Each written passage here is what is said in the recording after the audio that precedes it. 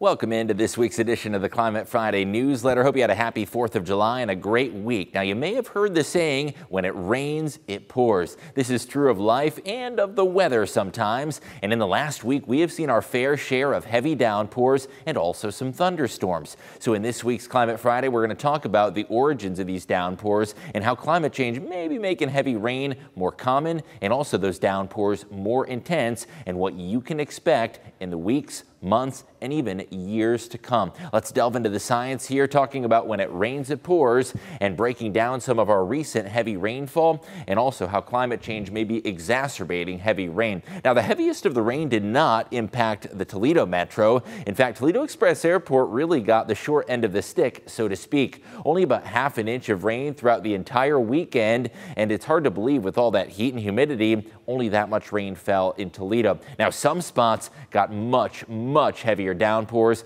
I want to show you rainfall reports over the course of the weekend leading up to the 4th of July. The purple colors you see on this map, those are the heaviest rainfall totals. You'll notice far eastern Lucas County, northern Ottawa County got drenched. Also to the west of Toledo, parts of southern Fulton County, northern Henry County, and Defiance County got the brunt of some of those heavy downpours. Let's look at the Toledo Metro. The rainfall was highly variable on where you live, and some of the heaviest rain impacted areas closer to Lake Erie, shown by that bright purple color, However, folks on the western tier of Lucas County didn't see nearly as much rainfall. Here's a closer look at the Toledo Metro and how much rain fell over the course of the weekend. Folks near Walbridge and Perrysburg saw nearly three inches of rainfall, incredibly torrential rain as a result of some of those downpours and thunderstorms. Also to the north of Clay Center and east of Oregon, radar is indicating, get this, up to four and a half inches of rainfall shown by some of those torrential downpours downpours, and we had some severe weather over the weekend in this spot. And in fact, there was a tornado warning that produced not only some rotation, but also some very, very heavy rain. What about the rest of the Toledo Metro? Still something to write home about. South of Ottawa Hills picked up nearly 2.4 inches of rainfall, and up near Sylvania, rainfall amounts were closer to one inch. What about some of our western counties? Between Wauseon and Napoleon, very, very heavy rain impacted. Now, the one takeaway point from this map is when it rains, it pours. We got some very heavy rain, but also some folks didn't see quite as much. Here's how much heavy rain fell to the north of Liberty Center and north of Napoleon three to four inches as determined by radar. And looking a bit further to the west, we also got some very heavy rain in portions of Putnam County, two and a half inches, Hillsdale County, around two inches, and even portions of Seneca County got up to three inches of rain. There was one downpour just to the northwest of the city of Tiffin.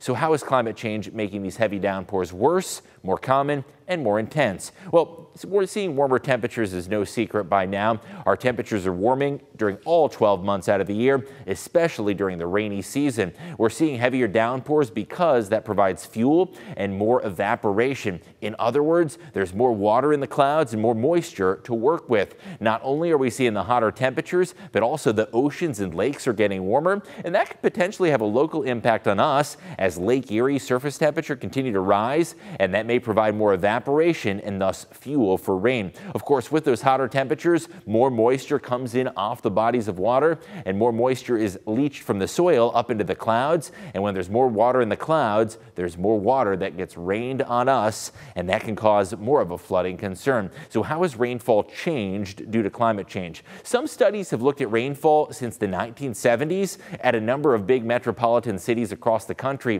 90% of cities studied saw an increase in rain. That means the vast majority seeing this trend that climate change has confirmed. What about some local and Midwestern cities? Since the 1950s, one study looked at some cities, including Cincinnati and Columbus, each of which saw a vast increase in rainfall. Detroit and Toledo, yes, the rainfall did increase by about 44 and 50 percent respectively, but that pales in comparison to Cincinnati that saw a 137 percent increase in rainfall. Again, that data goes back to the 1950s. Again, the mechanism for this, as temperature increases, we're seeing more available water, and it's not necessarily just a linear relationship, but you'll notice that line shoots up at an exponential rate. More evaporation leads to more precipitation, and for every one degree increase in temperature, there is a 4% increase in available water. So as the Earth's surface continues to warm up due to climate change, the amount of moisture is going to increase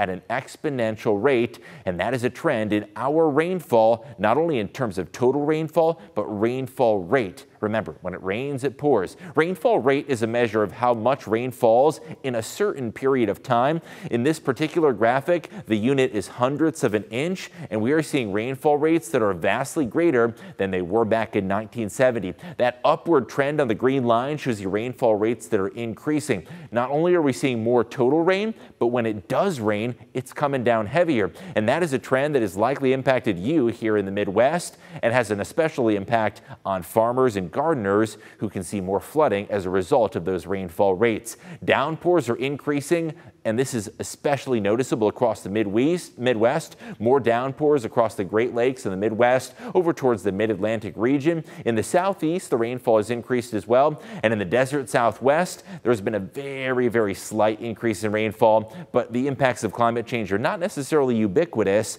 as the Great Lakes has seen the brunt of that increase in precipitation. Now, even with those downpours, we're seeing more extremes and fluctuations due to climate change, and much of the region still under drought conditions. Folks out west, including portions of northwest Indiana and Illinois, really under severe drought right now, and that has impacted Midwestern farmers this season. what about us here at home? Moderate drought conditions prevail.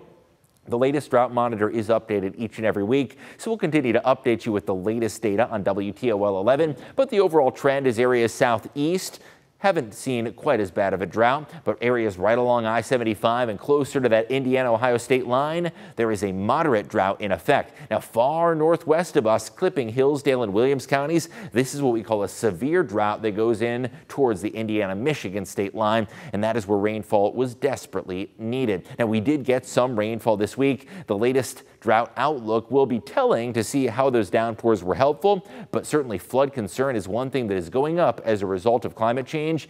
Remember, when it rains, it pours, and we're seeing not only an increase in overall rainfall, but also those rainfall rates increasing exponentially. Whatever Mother Nature has in store for the rest of the summer season, the WTOL 11 weather team will keep you updated. Subscribe at WTOL.com slash email, and you can see the latest Climate Friday on YouTube, WTOL 11 Plus, and online.